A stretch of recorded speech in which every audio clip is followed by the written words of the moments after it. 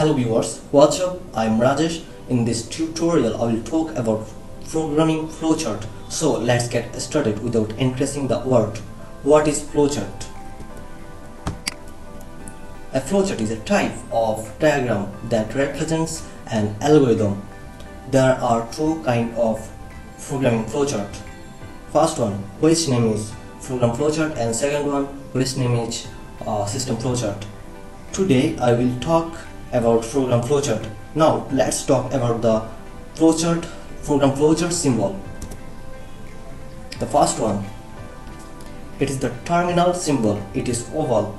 It is used to start or end the program. When we start the program, then we will use the symbol. When we end the program, then we will use the symbol.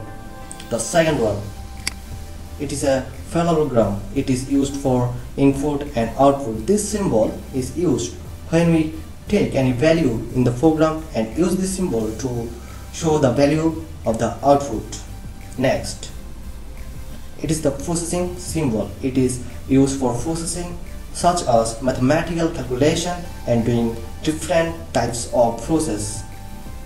Next, it is the decision symbol it is diamond shaped. It is used for decision making. If there are two possible values in the program yes or not not then we will use the symbol.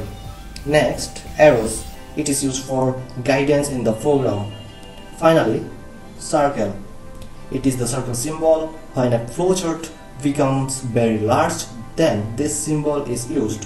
When we make a big flowchart then we will discuss it finish here today. I'll, I request everyone for watching the next video. Thanks for watching. Don't forget to comment like and subscribe and I will see you again. Bye bye